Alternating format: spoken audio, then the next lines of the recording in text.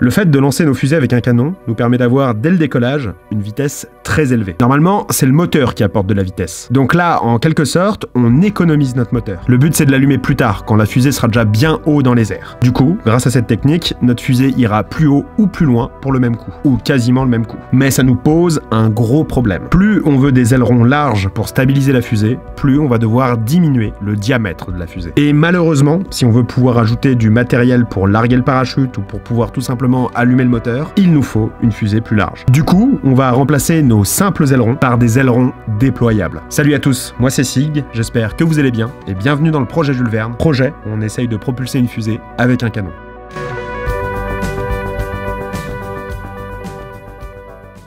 Ok les gars, l'idée des ailerons déployables, c'est le truc qui m'a été le plus souvent demandé. Et je veux faire les choses bien. Du coup, on va faire plusieurs prototypes. Dans la conception de fusée amateur, les ailerons déployables, bah c'est pas le truc qu'on retrouve le plus souvent. Par contre, dans l'armement, là il y a plein d'idées. Oh oh, alerte au Google Le premier exemple qui me vient en tête, c'est le missile Javelin. 11,8 kg de démocratie américaine propulsée à 143 mètres secondes. Et on retrouve à l'arrière de ce missile des ailerons qui se déploient à la sortie de la rampe de lancement. Nous, on cherche juste à voler. Voler de manière stable, mais on cherche pas à viser quelque chose je rappelle d'ailleurs que tout ce qu'on fait dans ces épisodes n'est pas à reproduire. Alors, maintenant qu'on a été chiant, on va pouvoir parler des prototypes qu'on va réaliser. On retrouve deux prototypes d'ailerons déployables. Le premier est directement inspiré du missile Javelin. On va retrouver une série de 6 ailerons déployables à l'arrière de la fusée. Les 6 ailerons sont reliés à la fusée par une petite vis autour de laquelle l'aileron va effectuer une rotation. J'ai réalisé une première version, mais il y avait quelques fragilités. Les ailerons avaient de grandes chances de se briser ou de se tordre au décollage avec les frottements dans le tube de lancement. Du coup, j'ai décidé d'ajouter un rangement qui sert de protection pendant la phase d'accélération de la fusée. Comme ça, on prend aucun risque. Le deuxième type d'aileron, lui, est un poil plus simple. Là, on en a que trois. Il se fixe grâce à une grosse rainure dans le corps de la fusée et on utilise directement la flexibilité de l'aileron pour l'enrouler autour de la fusée. Comme ça, il se déploie directement à la sortie du tube.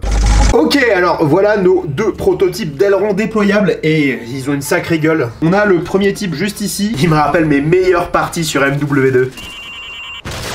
Pour extraire les ailerons de leur protection, on va directement utiliser un petit élastique. C'est très efficace, il n'y a pas besoin de plus. Par contre, il n'y a plus qu'à prier pour éviter que l'élastique se défasse au moment du décollage avec la force du canon. Mais voilà, en tout cas, c'est ma version favorite. On voit bien aussi les petites vis qui permettent de tenir les ailerons à l'intérieur. Elles sont toutes maintenues par un écrou, enfin un boulon écrou, je sais plus comment on dit. Et c'est l'axe autour duquel les ailerons euh, tournent pour se déployer. Du coup, ça c'était le premier, et ça, c'est le deuxième. Comme je le disais plus tôt, il y en a que trois, mais bah, ils sont beaucoup plus grands et aussi beaucoup plus larges. Du coup, ce prototype devrait être un poil plus stable que celui-là. Donc là, j'ai un exemple d'aileron justement. Ils font 1 mm d'épaisseur, ce qui rend le tout bien flexible, hein, mais aussi euh, bah, bien fragile. En fait, c'est surtout dans ce sens-là qu'ils sont fragiles, ils peuvent facilement se casser. Du coup, j'ai rajouté du duct tape. C'est un gros scotch plastifié. Là, c'est bien solide, bien flexible. On devrait pas avoir de soucis avec ça. 3, 2, 1, test ça marche trop bien Tout se casse la gueule Ça, c'est la partie arrière de la fusée. On a le reste de la fusée qui est juste là. Et pour l'assembler, c'est méga simple. On va rajouter une feuille de PQ entre les ailerons et le reste de la fusée et installer la fusée dessus. Et là, on coince la feuille de PQ avec le haut de la fusée. Bien sûr, sans péter les ailerons, c'est mieux. On retire l'excédent de PQ. Bon, là, je l'ai fait à la chibre, mais vous comprenez le délire. Et voilà, on a une fusée fonctionnel. D'ailleurs, pour ceux qui se posent la question, hein, c'est là où on va stocker le parachute. Dans cette pièce-là. Et à l'avant, c'est là où on va stocker l'ordinateur de bord et la batterie. Pour le moment, j'ai simulé le poids de l'ordinateur et de la batterie par une grosse pierre. Comme ça, on se rapproche un peu de la réalité. On va pouvoir passer au test. Avec un S. Bah oui, là, on va faire plusieurs tests. Euh, je sais pas si vous avez remarqué, mais notre canon est beaucoup plus gros qu'avant. 44 mm c'est énervé. Pour éviter les incidents avec un truc aussi gros, il faut qu'on soit sûr que notre fusée soit stable. Imaginez que le vent tord les ailerons pendant le vol. Et hop, notre fusée prend une inclinaison et se dirige plus vers le ciel, mais vers ce magnifique poulet en train de vagabonder. Et pour savoir si notre fusée est stable, eh bah, il y a une technique. On va accrocher une corde sur le centre de masse de notre fusée. Alors je sais qu'il y en a pas mal qui bricolent des fusées et qui me regardent. Si vous faites le test chez vous, pour trouver le centre de masse, c'est pas compliqué. Quand vous allez pendre votre fusée à votre corde, eh bah, faut qu'elle soit à l'équilibre. En gros, faut pas qu'elle penche plus d'un côté que de l'autre. Une fois que c'est fait, on va pouvoir utiliser la corde pour faire tourner la fusée autour de nous et observer son vol. Normalement, je dis bien normalement, la fusée devrait reproduire le comportement qu'elle aura en l'air. Bon le vent là, Stop Là, on va faire un test, mais cette fois avec un élastique qui va bloquer les ailerons, juste pour voir le comportement de la fusée sans ailerons. Ok, c'est le moment où je parais complètement con, Lucas. Vraiment loin là Ouais, t'as l'air quand même vachement loin là.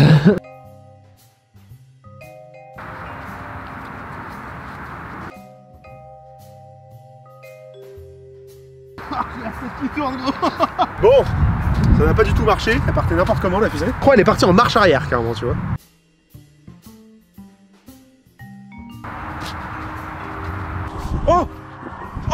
Stable Ah oui Oh mec Ah oui, oui, oui Ah oui, oui, oui, oui, oui, oui, oui C'est trop bien Et c'est reparti cette fois avec le test et la pierre dedans. Allez.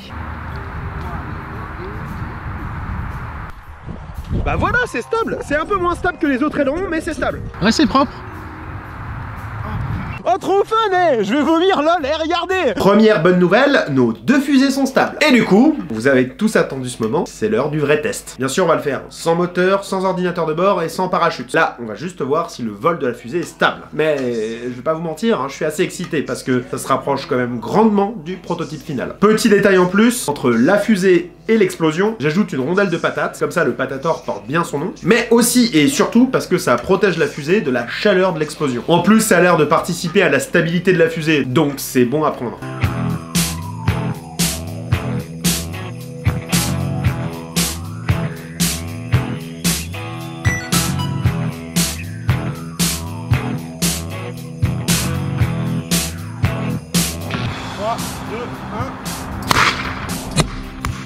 Ah bah ouais. Allez, stabilise. Oh, elle est stable. Oui, elle est stable. Elle est stable. Yes, putain. Ah yes. Ça fait plaisir, là. D'un coup, là, je me sens libéré, là C'est parti pour aller chercher la fusée. Elle est vraiment plantée dans le sol. Ah ouais, putain, elle est... Oh là là. Ah ouais, elle, elle est vite, hein. Et l'élastique est toujours là. L'élastique est toujours là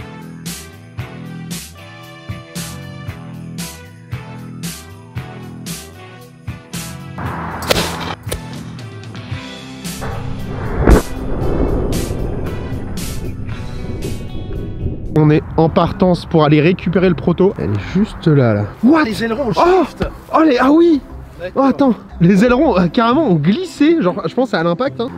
Ah ouais, il s'est, mec, il s'est encastré. Il s'est embriqué Bon bah les gars, c'est une full réussite. Les deux prototypes ont hyper bien volé. Et ça fait plaisir après autant de travail. Quasiment deux ans qu'on est sur le projet, je suis content que ça marche bien. On a une trajectoire bien droite, la fusée se stabilise au début du décollage, puis file tout droit dans le ciel, puis finit par piquer du nez vers le sol. C'est ce qu'on voulait, parce que ça sera au moment où la fusée sera à la parallèle du sol, on va éjecter le parachute. Donc il faut qu'au bout d'un moment, elle pique du nez. Pour les aspects négatifs, il n'y a pas grand chose à dire. Il y a un petit bout d'aileron qui s'est cassé sur le premier prototype, c'est sûrement dû au frottement dans la rampe de lancement, mais ça n'a pas impacté négativement le vol. Du coup, on va sûrement biseauter l'aileron pour éviter que ça se casse à l'avenir. Par contre, sur le deuxième prototype, on a retrouvé les ailerons quasiment éjectés du modèle 3D à l'atterrissage. En gros, la pièce où on fixe les ailerons et où on met le moteur, c'est imbriqué dans le reste de la fusée. Maintenant, savoir si ça s'est fait à l'impact de l'atterrissage ou au moment où le canon a explosé, ouais, c'est dur à dire. Pour corriger ça, il suffirait de mettre une butée pour éviter que la pièce puisse s'encastrer à nouveau dans la fusée. Du coup, je penche plus pour la première solution, car c'est elle qui a l'air d'avoir moins de problèmes. Et aussi, bah parce qu'elle est méga stylée les gars. Les ailerons déployables comme ça, c'est ouf. Mais bon, n'hésitez pas à me dire en commentaire quelle version vous préférez. Dans le prochain épisode, on va concevoir le futur ordinateur qui va s'occuper d'allumer le moteur et aussi d'éjecter le parachute. J'ai aussi envie de vous remercier parce qu'on est 8000 sur la chaîne YouTube. Vous avez été très nombreux à nous rejoindre au cours des dernières semaines. Donc merci à tout le monde. Voilà, c'est tout pour moi. N'hésitez pas à vous abonner, liker, partager, commenter. Bref, vous connaissez la chanson. C'était Sig, prenez soin de vous et je vous dis à plus.